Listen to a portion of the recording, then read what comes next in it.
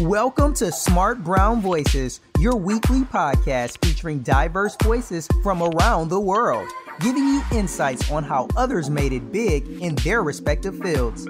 Now sit back, grab a notebook, and get ready to be inspired. And don't forget to use hashtag Smart Brown Voices to share insights, moments of wisdom, and things from the show that inspire you. And now, here's your host, social media nerd and technology activist, Mr. Mike Street. Hey everybody, it's Mike Street and I'm back with another edition of Smart Brown Voices. So again, I just wanted to thank everybody out there who's been supporting the show. I've definitely been enjoying your emails and your tweets. You know, so really just thank everybody for all of your support. And so we have a special guest with us today. So, uh, Laura, can you introduce yourself? Hi, I'm Laura Mignott, co-founder and managing partner of Digital Flash. So, Laura, give us, uh, you know, a bit of your background. Like, how did you kind of get started in this whole marketing space? And you know, and you're a co-founder of the Digital Flash agency. So, give us a little bit more on like how you the agency came to be. Sure. So basically, my background is from the agency world. So I uh, started my career working for a tiny little pharmaceutical marketing agency right after I got out of graduate school, and you know slowly um, clawed my way up, um, working in a variety of different roles. And then I had a couple of stops at mobile marketing startups before starting Digital Flash. Um, Digital Flash is about five years old. Um, we are a digital experience agency, so we connect the online and offline worlds by using digital technologies in really smart and engaging ways. So that's everything from building pop-up activations to building social media campaigns and a little bit of everything in between. For me, it all started out when I was in an undergrad at NYU and, you know, having a real love of history. I know this is how you actually become an advertiser. but um, being fascinated by what marketing what marketing was and um, it was just a really interesting time for me when I was in college. And then I, I always kind of knew that I'd probably end up in marketing in some way, shape, or form.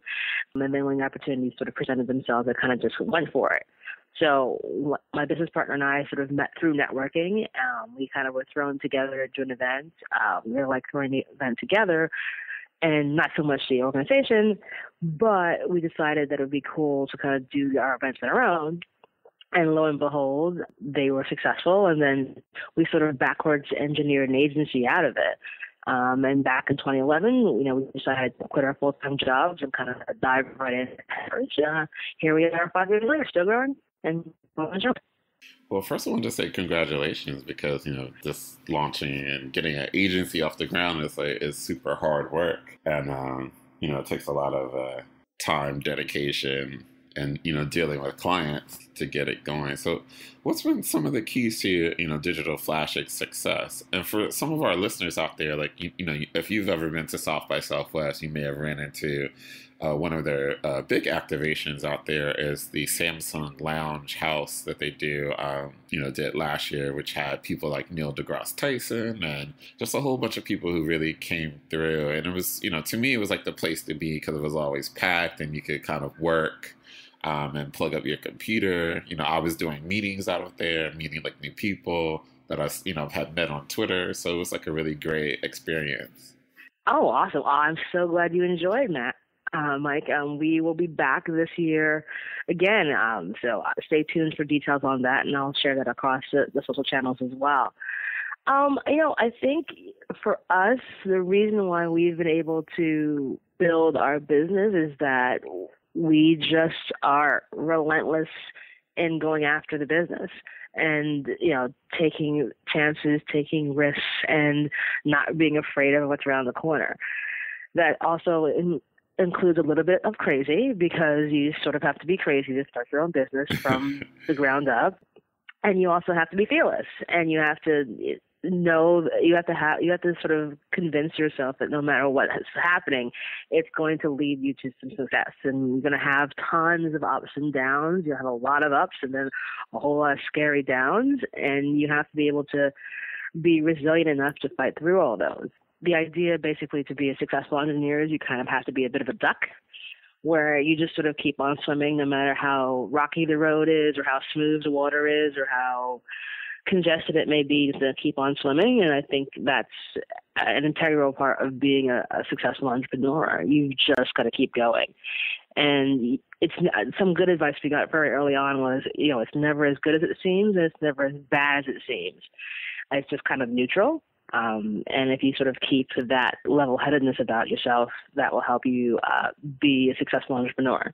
You know, so what were some of the kind of uh, experimental things that you and your business partner did to really kind of get clients? Because I know, like for me, you know, I'm always trying to go out to like networking events and, you know, just trying to, you know, like I always say, I, I try to go out and kiss a lot of babies, you know, so I can find uh, you know, find clients. But what have been some of like those kind of like off the beaten path uh, things that you guys have done to really, you know, land those big accounts? Uh, two things. One, we are never afraid to have a coffee or a drink of, with someone in the industry or someone who's peripherally in the industry or someone who's not in the industry. Um, because you never know where your next client is going to be, mm-hmm. and you have to be you know very open to going to different types of networking events. You can't go to the same type of events and see the same seven people over and over again um, when we were starting the company, we went out five nights a week for two years. And in those two years, we met about 5,000 people. Oh, and that wow. was because we didn't just go to, yeah, it was kind of crazy. Um, you, you have a lot of wine, a lot of French fries, a lot of coffee. Not the healthiest thing in the world to do, but it's our business, so I'm not complaining. But also, all of those times, we went to fashion events, we went to marketing events, we went to real estate events, we went to underground wine tasting events. You name it. Um, we found events that seemed kind of interesting, and went to them because we figured if we find them interesting, we'll find other interesting people there. You never know who those people could be. And oftentimes folks don't want to do that. You like, oh, well, I know that I need to go to these digital events and that's the only event I'm going to go to. Well, you never know who your next client could be. So that person sitting next to you at that wine tasting event could be, you know, the VP at Amex or whatever. Um, but he has an affinity wine, and go at this thing, he, becomes a client because he's gotten to know you in a, a unique way as opposed to somewhere where he's speaking and you're trying to sell him after he's done now. Um, so we've tried very hard to do that. And also, you know, we let our reputation speak for ourselves. You know, we very much have hands-on approach to our business. You know, even though we now have staff, we still are kind of the we still are the face of the company. We're the face of the brand. We own all the client relationships, and we take those very seriously. So it's everything from knowing you know, when our clients are going to have a baby to know you know what kind of drinks they like to you know just solving a kind of crazy problem that they email us about 11 o'clock on Sunday about, which has nothing to do with anything we've ever done with them before, but just kind of know we know how to fix things.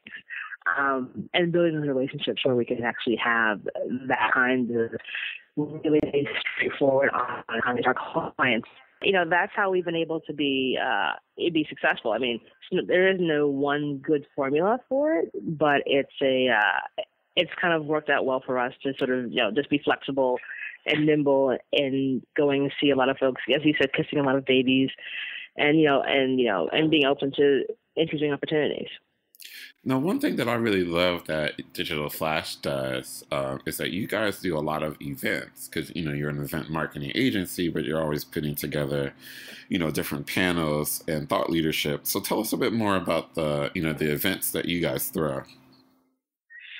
Yeah, so when we first started the business, we just were doing these very simple networking events where we would get smart people in digital to come talk to an audience about what was happening in digital you know, early on in 2009, 2010, 2011, it was still very unclear how to win at social and how to, what does all mean. And we thought it would just be interesting to know what's happening in the industry. So how do we get these folks to come speak? So instead, we go to the events, meet them at the event, and say, "Hey, you're really smart. We'd love to come speak on our panel."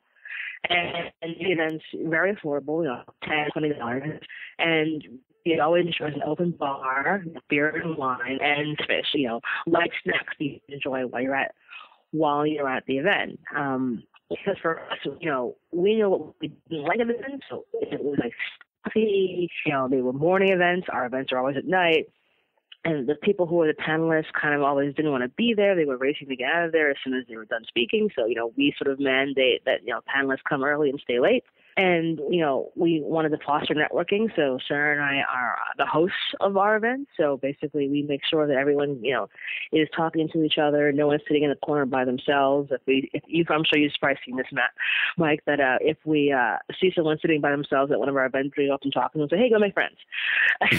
um, and it's because we feel that, like, you know, we want to foster an environment where people can relax and be chill and just you know make new friends and it doesn't feel like it's a business networking event. It's a networking event. You can meet cool people and and we've been fortunate that we've had a very diverse group of people who've kind of come through as our speakers as well as people who've been attendees. And we've really built an awesome community over the last five years. So now we work with uh, clients and we build, you know, either panel events like what we do for DF or something custom like a conference, um, influencer dinner, or something completely unique and different as a pop-up experience. Um, but we always make sure there's a digital element that comes with it because one of the things that we found with our events was that we never had to actually pay for any real marketing for our events. It was mm-hmm. all done through social. Basically, people would come to our events, tweet about how awesome they were. That would help, you know, help the branding of Digital Flash spread and more people want to come. And it was a nice you know cyclical nature like you come you take pictures you tweet about how awesome it is more people come the next time. And extrapolate from that is our kind of you know experience framework for what we do for clients. So basically if you build an event that has a lot of these kind of simple features of really amazing food really interesting content um, and, you know, great things that you want to Instagram or th- or really smart things you want to tweet about people want to hear more about the brand. And so that's now what we have to do with clients. And, we figure out how best to create an experience that will and then make sure we those boxes so that it, it's a really amazing experience and it leads to more business for us. Awesome. And, and the thing that I like about what you guys are doing is it's really, you know, it's consistent. You know, it's not because you know, like most agencies out there, they'll do maybe something like once a year, but you know, you guys you know, at least have something uh, every quarter to look forward to to attend. So I think that's you know the key to you know one of your successes really just being consistent and creating that community around your uh, you know around your brand. So that's really you know why I think you guys have really been able to go you know cut through a lot of the noise. So one thing that I've been struggling with, um, you know, especially when it becomes you know comes with like dealing with clients and dealing with agencies, is really kind of like uh, you know cutting through the crazy. And I know you touched on that earlier. So, what have been some of the techniques that you have done to kind of cut through some of the crazy that can really go on between, you know, the agencies and clients? Well, you know, I think it comes down as honest with your clients as you possibly can, and sort of being your client's number one, especially if there are multiple agencies that are working with a particular brand. You know, we sort of take a sort of management consultant. So you, when dealing with our clients, we're we're pretty much straightforward and honest with them about like this is exactly what the situation is, and um, you know, this might be not what you want to hear, but this is what actually is happening. And, you know, that level of directness comes from the fact that we're a smaller shop. You know, we're not worrying about um, having to go through eight different stakeholders to have that conversation. You know, most times we are the direct uh, contact to our client at a brand. And so, you know, we can say, hey, listen, this is what we think is happening, and this is what we think we can do to solve this problem. It's not about, you know, pitching to a client. It's about saying, here's how we can solve this. And I think being a problem solver for your clients is the best way to keep them as your clients. Um, it, you know, oftentimes our clients will ask us for stuff again that we don't is not normally what we would be doing, but like sure we can take care of that thing for you um yeah we can make that call for you get you get that product for that particular thing and you know when you become a resource for your clients i find that you know oftentimes that's a really great way to keep them as your clients because they know that they can kind of come to you when they have any sort of weird problem and if you can't solve a problem you're probably an email or a phone call away from finding someone who can solve that problem for them Exactly. It's becoming that like kind of indispensable uh, you know, go-to person, you know, from from an agency and client relation. I think it's definitely key, uh, you know, for being able to expand your business because you know one project or one account, win the account, and yeah, you that person may or may not be on the account for long, and then it's it's like onboarding someone new, and we you know try our you know just like how we have our consistency of our events we same thing with our consistency of our clients. It's like it's there is no special way we deal with client x versus client y. It's like no you all get the same you get the same level of treatment and um and you get the same level of you know blunt blunt honesty about things and of course we're not crazy and tell them something horrible but but we also you know you know give them real scoop and give them, I guess, we want to say some real talk when uh, when necessary. So now digital and you know digital is a core component of your your business. So how do you see that the you know client and agency relationship has changed like from your early days till now? Because I know I see a lot more agencies like you know offering digital and social services, and then some uh, some brands are trying to take some of that stuff in house and do a lot more of it themselves. So where do you kind of see the role of agencies now? Well, I think with agencies, you know, they've got to be one step ahead. They've got to be on the ground looking at new technologies, looking at new platforms, and being able to be a trusted resource for their clients to say, hey, here's something you should try. And and not putting tens of millions of dollars behind it, but, you know, a smaller budget and say, hey, let's, you know, you have $50,000 to spend. Let's try this, let's try this new thing. Here's why we think it's, you know, actionable and could be useful for you. And I think that's a way to really help you know agencies grow and be nimble in this time where things are changing so quickly. I mean, we're doing a lot more things in wearables and Internet of Things, um, largely because we've had a lot of a lot of interaction with some of those great technology companies and some great thinkers around all that stuff. And I think that's you know oftentimes a, a problem for agency folks is that they get so bogged down doing a, you know the day to day that they don't get a chance to go out there and see what's new, see what's next. And I think that's a really important thing whereby you can't take anything for granted. Like you've got to stay on what's happening in the industry and other peripheral industries and how that might be useful to you as um, you offer different things to your clients. And so, how do you guys keep, uh, you know, abreast of like the different trends? Like, are there any events that you guys like recommend our listeners go check out, or any, you know, online resources that you use to keep, uh, you know, keep your pulse on what's going on? Um, we read a tremendous amount. So everything from PSFK to um, the Cassandra Report to just your standard Digiday and Media Post, Mashable.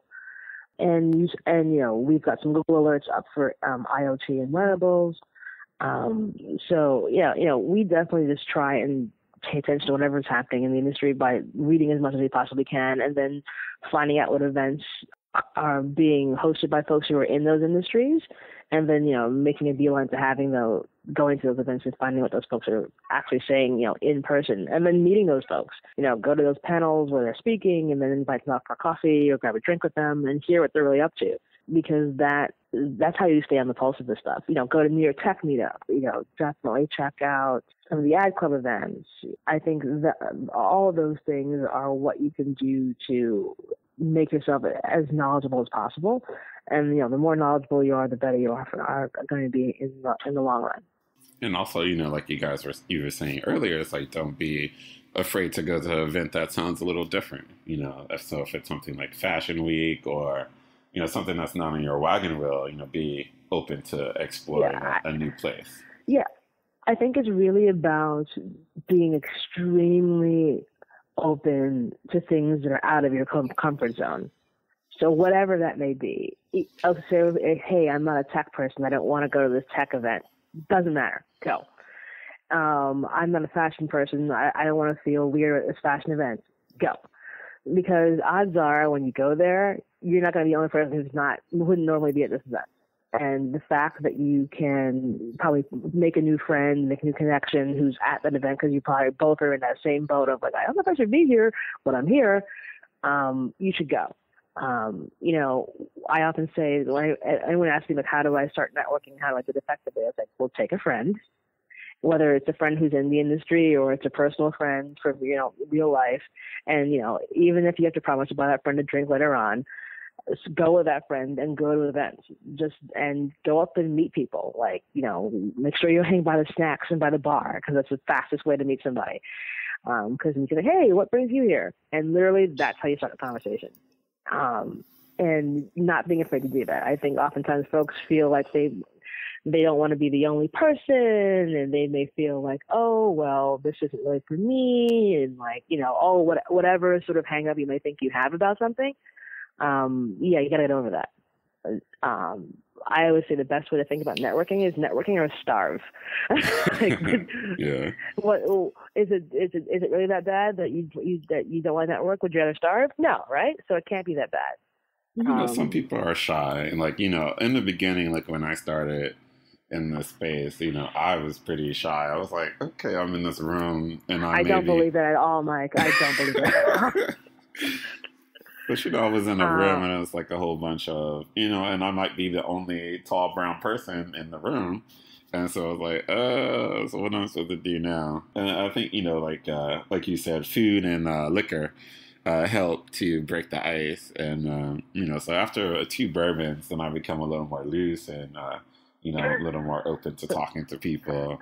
And so that's kind of like how, and I think that's how we met too. We met at a uh, networking event. Yeah, same deal. And exchanged business cards. Probably by the bar. Yeah.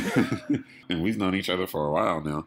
You know, so you know, again, you never know who you will meet. And, um, you know, we've also had the chance to work together. So, you know, that was awesome to really, uh, you know, help out D- Digital Flash when they needed some extra hands on different projects. And you were fantastic. Thank you. Well, I, you know, listen, I listen uh, up as as a as a somewhat tall black girl. um, let, let me just say this: off ninety five percent of the time, I'm the only one in the room, and I don't care because it doesn't matter to me. I think you know we all have to sort of get over the fact that we might be the only one in the room, and then mm-hmm. just to our advantage. Well, if I'm the only one in the room, you gotta come talk to me. Yeah. is the way that I sort of look at it. Look, I I uh, I'm I used to be very, very, very shy about these things, but like my thought process had to be like I just kind of, I just kind of trick myself into thinking that like if I meet one person that is saying it'll be fine, and you know, and then the next one you ask every single person that's in this room, and I have shake every single hand. But you know, meet a couple people, you know, exchange a couple of business cards, um, and if you're the only one there, oh well, that's great. You figured out how to go to this event, so good for you. Now make a new friend and and and not be intimidated by that. Like, will you meet people who will not be great? Yeah, of course you will. But that happens everywhere. So, you know, this is business. This is how you have to push yourself forward, and you want to be successful. So you just uh-huh. kind of gotta just go for it and you know throw a little caution to the wind take some liquid courage whether that's a glass of glass of wine or some hummus on some on a carrot stick and just kind of go for it and i think you'll only you'll only be able to grow um, as a result so what, what's next up for digital flash what does 2015 look like for you you know for the agency um, we are continuing to grow. We are planning on expanding into some new and exciting areas. Um, we're gonna begin to make some digital flash experiences a bit more permanent in some locations. Um, stay tuned for that. Um, and you know we'll probably be working a little bit more in the retail and hospitality spaces with some really interesting, cool ways. We're going to be bringing in the, the use of technology from you know, wearables and IoT in, more into our experiences so that they have a really unique component to them. Um, also, stuff you'll see, stay tuned post South by, you'll probably see some of that stuff start to uh, pop up for us. Um, and, you know, we're just going to continue to, you know, provide really amazing experiences for our clients and for folks who get to participate in them. And um, you know, we're always looking for new partners. We're always looking for make new friends and continuing to network out in in the industry. And uh, you know, hey, maybe even go global. Awesome. And, and so, what to you? Uh, what is your core? Uh, you know, your agency's core capabilities for you know people listening out there. So we do what we call digital experiences. So we will build digital strategy for you and execute it if necessary. We will build your activation from soup to nuts. So it's everything from production to hammering nails and putting in furniture. and but then but then also having those experiences have a digital footprint. So what's the hashtag coming out of that event? What is the interesting digital element that's going to make you want to stay and stay? So is it a photo booth? Is it an Instagram wall? Is that something more unique? And whatever kind of content is coming out of it, how curated is, is it for your particular industry. Um, and you know, at the end of the day, we oftentimes are, you know, just brought in to sort of be your shadow agency if necessary, or we come in and do a very specific part. So the event marketing or the digital strategy, and then someone else handles handles the actual execution, or we we do the full full service as well. Awesome. And how can people reach out to you if they might want to hire a digital flash? Sure. So they can reach out to me via Twitter at DFN, DFlashNYC is our handle. You can always find me on some sort of Twitter list of some sort, or me, which is L M I G N O, which is my personal Twitter, handle as well. Uh, you can also send me an email. I'm totally down for that as well. It's laura at digitalflash.com. I'm happy to grab a coffee or a glass of wine with anyone and, and you know, make a new connection. Um, and you'll probably see me checking into events pretty much all over New York from now through the end of February when I leave for South by, and I'll be gone for a month. cool. Thank you so much, Laura. And uh, I'll make sure for everybody who's listening to put all of Laura's information down in the show notes so you can reach out to her and uh, you know make sure you find both of us if you guys are going out to South by Southwest. I'll be running around all over the place doing a whole bunch of craziness, and probably with Laura we'll be I'm doing sure. the same. So uh, you know, make sure you tweet us. And, uh, you, you, know, so again, thank you so much, Laura, for, uh, you know, joining us today. And uh, we look forward to uh, catching up with you again uh, while you're down at uh, South by, because we'll be doing a special, you know, Smart Brown Voices Austin edition while we're there. So we'll make sure we grab you guys and, and also grab your, your business partner and kind of check in and see how things are going during all the, the crazy that is Austin. Sounds great. Thanks so much for having me, man. All right, thanks, guys, and we'll be back uh, next time. Thanks for listening to Smart Brown Voices with your host, Mr. Mike Street. If you like what you just heard, we hope you'll leave a review on iTunes and tell your friends and colleagues. Be sure to check out our archive section on our website for previous podcasts and make sure to follow us on social media. This has been a Mr. Mike Street production. Join us next time for another edition of Smart Brown Voices and be inspired. Two times a day. I don't want to be around me. And I don't blame you if you're blocking all my calls. Been a while since I've been sleeping soundly. I lie awake between two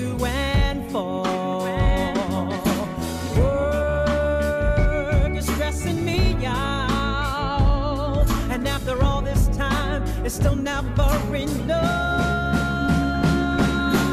Why would I spend the rest of my days unhappy? Why would I spend the rest of this year alone when I can go therapy? when I can go therapy, when I can go therapy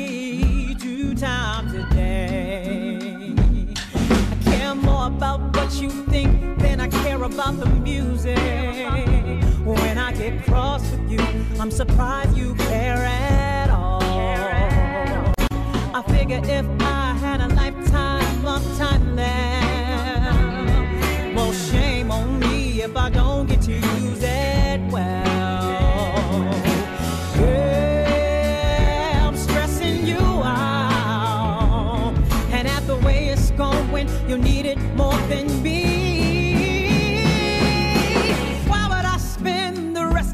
days unhappy? Why would I spend the rest of this year alone when I can go therapy? When I can go therapy? When I can go therapy two times a day? Someone